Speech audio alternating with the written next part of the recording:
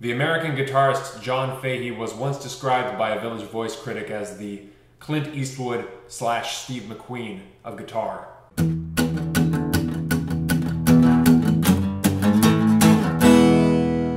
Better than food, man.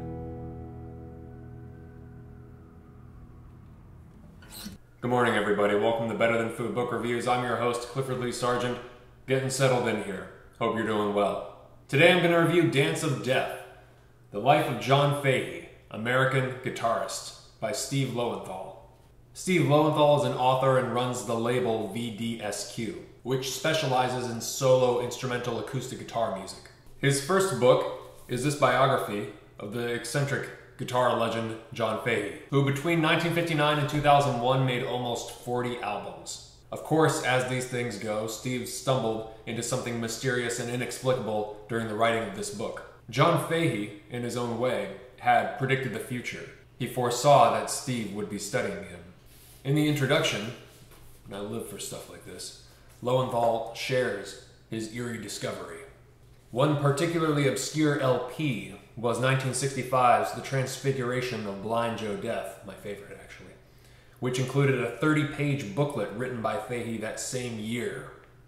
In this text, he, as an unnamed omniscient narrator, tells the hallucinatory tale of a student researching his master's thesis on John Fahey. 1965, when he wrote this. The student finds a shopkeeper and asks, Did you ever go to any of the clubs around Boston during the 60s and perchance see or hear of a guitar player named John Fahey? I need any information I can get on him for my master's thesis. I'm doing it on pre second foundation artistically creative geniuses.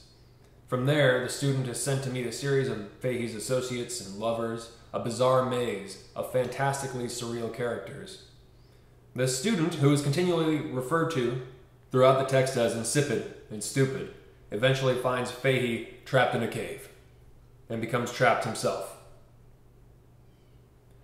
While I certainly recognize a strange coincidence here, it became even odder once I realized that the story was set in 2010 and that Fahey had made the protagonist Jewish. I had, quite unwittingly, stepped into a prophesied role created by John Fahey himself. John predicted that I was coming and had laid all the traps and mazes for me decades earlier. I took it as a sign I was on the right track. This is a YouTube channel about books, but when I get a chance to speak about music I love, I'm very excited to do so. If you research a little bit, you'll probably hear John Fahey described as folk, but there's very little about John Fahey that ties in with the whole hippie folk genre of his era. John Fahey was playing outsider music before there was such a thing as outsider music. He jokingly referred to his style of playing as American primitive. The label stuck. He would have benefited tremendously from having been born in the era of punk rock or industrial noise or all of the experimental stuff on the cusp of the late 70s, early 80s. That would have definitely been his time. As it turns out, he was born about 40 years earlier and was around and playing for, much to his chagrin, the hippie audiences, which punk rockers later sought to slaughter. In fact, John Fahey has much more in common with something like black metal. And I know that may sound strange, but check this out. I never thought I would get the chance to speak about this juxtaposition, which ever since I discovered it, I always thought was fascinating and made total sense. This is an acoustic guitar player named Chris Brokaw covering this very obscure French black metal band named Vlad Tepes. I've known about this song for years, but of course, in writing this review, I discovered that uh, Chris Brokaw, this guitarist, has an album on this author's label, on Steve's label, VDSQ. Of course, not surprising.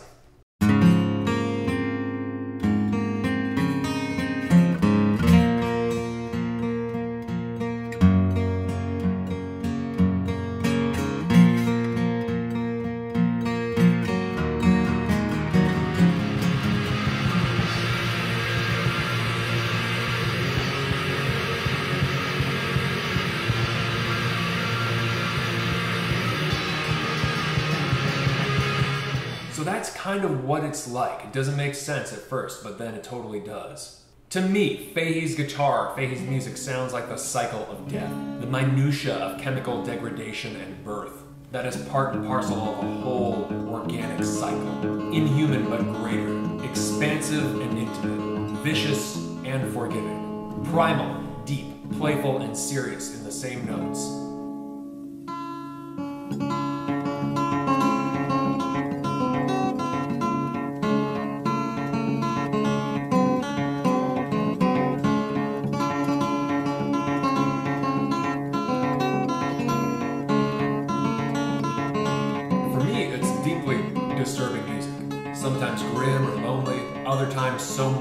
And soul, it's almost overly sentimental. But it never quite crosses that line.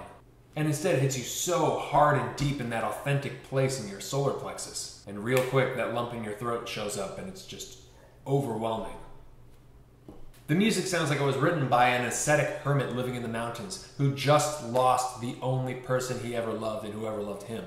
John never learned to play sheet music and claimed that for every note there was an image going through his head, which is really fascinating to me. He was much more concerned with tone and emotion as opposed to technique. He was he was really into ideas and you know you can see it when he's playing. You know he's kind of like doing like this sort of trance thing. You know, and he actually later on to get over the stage fright, he he tried to. Uh, he went to a hypnotist and he actually there's an interview where he discusses it and he you know he so every time he touches the guitar he kind of goes into sort of like this trance and you can see it while he's playing when he's really losing himself and his head's just kind of like bobbing up and down, you know, and uh, he's off somewhere else in the good moments. And those, you know, you can recognize that in yourself when you're not self conscious. That's sort of how it feels. Certainly, John was one strange, unique, mythological character. We'll come back to that word mythological later. But he actually came from the lily white suburbs of Maryland. It all began when he heard Jimmie Rodgers' Blue Yodel number seven on the radio. And I love the description of when he hears it for the first time. This is what he said his reaction was when he heard this for the first time. It reached out and grabbed me, and it has never let go of me, he remembered. I went limp. I almost fell off the sofa. My mouth fell open. My eyes widened and expanded. I found myself hyperventilating. I screamed for help, but nobody was around and nobody came. Nothing has ever been the same since. I love that being so arrested by a piece of music that you're like, you're paralyzed. Must be terrifying. I mean, imagine being so moved by a piece of music that you're paralyzed physically. It's horrifying. So when he got older, he worked at a 24 hour gas station, selling his own records to whomever he could. Sometimes he'd slip it in with other records at the record store. He was a record collector, and eventually, after discovering that he loved the old, deep Southern blues guys, Fahey was partially responsible for this massive blues revival. When he went down south, trying to buy old records off of people, just trying to find these, you know, these these recordings because they weren't around, they weren't available. And he fell in love with people like Charlie Patton, Skip James, and Bukka White. All of these blues legends had fallen off somewhere back in history. Even though their music sort of lived, nobody knew where they were. Until John Fahey and his friend went down south to the places that they were singing about in their lyrics and found them. Fahey actually found his idol Skip James dying in the hospital from testicular cancer. Fahey loved Skip James, and for good reason. I love Skip James. He's astounding.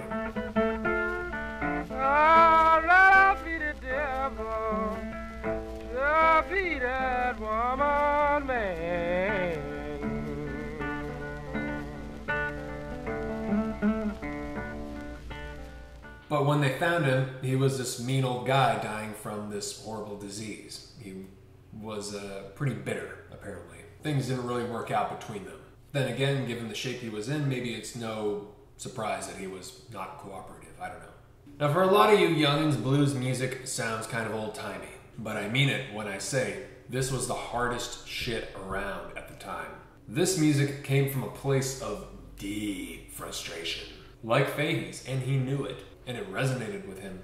Fahey heard in the blues a rage not expressed elsewhere, and stories fascinated with death, violence, and sex. The reason I liked Charlie Patton and those other Delta singers so much was because they were angry, Fahey remembered. Their music is ominous. Patton had a rheumatic heart and you knew he was going to die young, which he did. In Son House, you hear a lot of fear. In Skip James, you hear a lot of sorrow, but also a lot of anger. I played some of the records to the doctor and he said, These guys are angry as hell. And they are. You can listen to them. Bukka White, another guy, they found, incredible guitar player, like I'm like incredible, uh, was actually uh, earlier in his life charged with murder and uh, recorded albums from prison. John found him working in a tank factory. So after John discovered these guys, he started recording his own material, and of course, you know, his cult following grew and grew.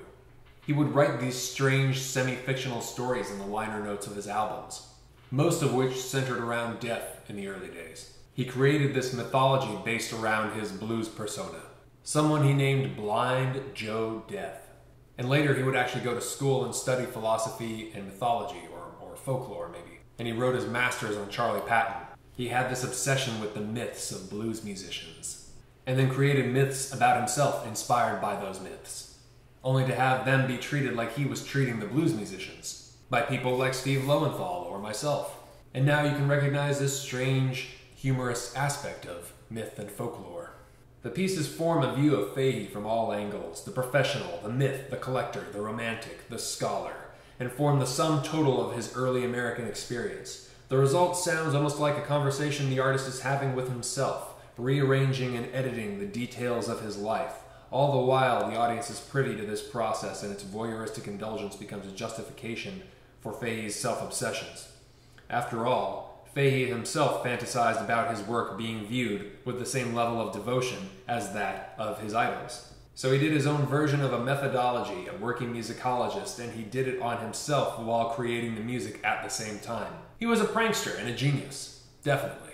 But, of course, other side of the coin, he was somebody who never really grew up. And this was simultaneously why people loved and hated him. In his personal life, you know, according to many of his ex-wives or girlfriends. He was sort of like this giant baby that really just was incapable of taking care of himself. He had this hellish stage fright. Yet he was just con- yet he was convinced of his immense importance, but at the same time hated playing live and avoided any kind of careerism like the plague, which seemed to be just as much from fear of rejection and laziness as it was from not wanting to be seen as an opportunist, from wanting to be kind of like, you know, a purist, an artist. There's a load of crazy stories in this book. I mean, after he became well known, the Italian filmmaker Michelangelo Antonioni, someone who I really appreciate, came to him and wanted him to score uh, a piece of his film Zabriskie Point. So Fahey said yes. They flew him over to Italy, and then he got cold feet and couldn't do it. So instead, Fahey comes back and he makes up this story about punching Antonioni in the face during this political argument at a restaurant. I mean, you can believe what you want, but I, you know. Things, however, fell apart when the two went out to celebrate at an upscale restaurant and began to talk politics. Antonioni started discussing how his film was a critique of American culture, which he thought was an abomination. In actuality, his and Fahey's views weren't that different. Fahey was actually very conservative. He like in the sense that like he thought the left was like totally like inept and incompetent and just whiny at the time. Fahey was hypercritical of the counterculture himself and wondered how anyone could live with it. His hangers on nodded in agreement. Yet Fahey resented the director's insinuation that Americans were unsophisticated and endlessly materialistic. Perhaps in Antonioni's world this seemed the case, but Fahey resented the implied condescension. I felt that my intelligence was insulted, wrote Fahey, that, qua musician, I was being treated quite rudely and wrongly and unethically. I thought that this was an insult to my mind, my reality, my commitments, and everything that I was and everything that I stood for. Despite his similar objections to excess and hedonism, Fahey decided he wanted nothing to do with what he perceived as an anti American propaganda film. Being the patriot that he was, he felt it his duty to stand up and defend his homeland. The disagreement escalated and the two began shouting in the restaurant. Then Fahey punched the famed director in the face. The two never spoke again. Fahey's music was cut from the film, though he was still paid for his work, and was replaced with Jerry Garcia and Pink Floyd songs. The film was considered a disappointment upon release, and Fahey felt vindicated by its commercial failure. So that's actually not true, but it's told, you know, uh, as if it was first, and then of course it goes on to say it was a product of Fahey's imagination. But I, uh, for a second, I loved believing that John Fahey went over to Italy and punched Michelangelo Antonioni in the face in public at a restaurant. I just that's just such man. If I had if I just had money, I'd go make a short film about that whole scenario. It's just so damn funny. He was fun, but Fahey was fundamentally, creatively uncompromising, right? To the point where he was a bitch to work with. But it really seemed like money did not mean much to him at all, whether he had it or not. I mean, we're talking about towards the end of his life after substance abuse and addiction and all this shit, like staying in like weak motels, you know, weekly motels, like these disgusting fucking places, and uh, getting like offered this totally legitimate, kind of awesome six figure deal, and just not really caring and not wanting to go through with it and just say like, no, I'm gonna sit here in my pile of uh, you know cardboard pizza boxes and just rot, you know, because uh, that doesn't sound like something I really want to do, you know, just even like even when he should have been desperate, you know, just really didn't care. Though in his romantic relationships, he was an obsessive, if we're to trust the book, and he really never seemed to learn any better. You could have guessed, but this story doesn't end well, right? Sleeping issues, alcoholism, and again, this inability to care for himself. You know, he really was heavily dependent on others and was really like starting to go crazy at several times in his life and just like you know from sleeping pills and, and alcohol like boatloads of alcohol and a shitty diet and all of these things you know? That stuff really ages you fast man. And it's, it's amazing that he made it to 60 it's a triumph. It reminds me tragically like the fate of another brilliant guitarist named uh, Jackson C. Frank I won't get into it, but his is a real sad story. But uh, just go check out, listen to uh, Blues Run the Game.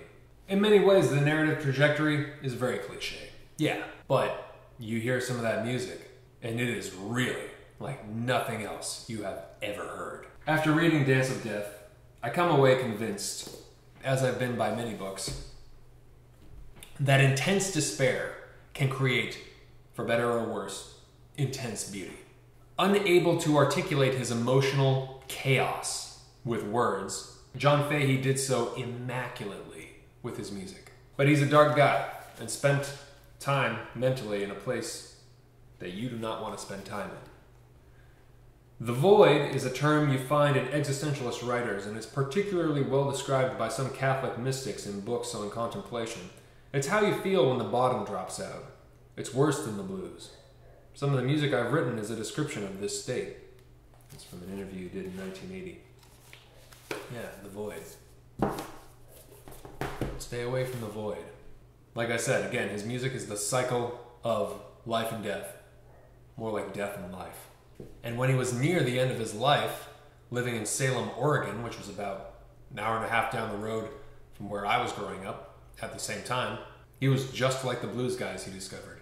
People were buying the records and people assumed he was dead. It led to the obvious comparison of people thinking blues guys are dead. The parallels to Fahey's own discovery of Skip James were striking. In turn, Fahey himself became the keeper of lost secrets from the past. He seemed as alien to the alternative crowd as James had been to the folk revivalists. Even though he believed that ambition toward careerism was hollow, Fahey wanted to matter. That his music is continually discovered and enjoyed proves his enduring relevance. When people ask me how good I am, I usually cop to being brilliant, even better than that, but short of genius, Fahey wrote. But I say these things in an objective, dispassionate manner because, you know, I can't explain why, but being one of the greatest guitarists in the world simply is not very important to me. Oh, but if you took it away somehow, I would be very unhappy. If you like the blues, look up any of these artists. It's a great starting point. You know, uh, maybe get in there with some Robert Johnson, Skip James, Son House, Bukka White. Uh, who else? I don't know. Uh, Big Bill Broonzy, um, Howlin' Wolf. You look up any of these guys, one thing will lead to another. It'll all start, you know, you'll, you'll fall down the rabbit hole, and this one goes deep. You never know where he might come out or where it may lead. Enjoy the legend of Blind Joe Death. Always remember life is far too short to read bullshit. Hope you guys are doing well. Please subscribe. You can follow me on Twitter, get updates there, Instagram, Facebook, all that good stuff. Would really appreciate some Facebook likes. If you would like to help support the show, you can donate at patreon.com forward slash books are better than food, and you can get access to my private vlog wherein I give updates about everything. And also this book club that I'm going to start, wherein I'm going to tell all of my patrons who have donated a dollar or more what I'm reading and will eventually review so you can get a head start. Check it out. We can read along together and communicate. So we can have this dialogue leading up to the review. Always remember life is far too short to read bullshit. Hope you're doing well. It was great to see you. Take care. Talk to you soon. Ciao.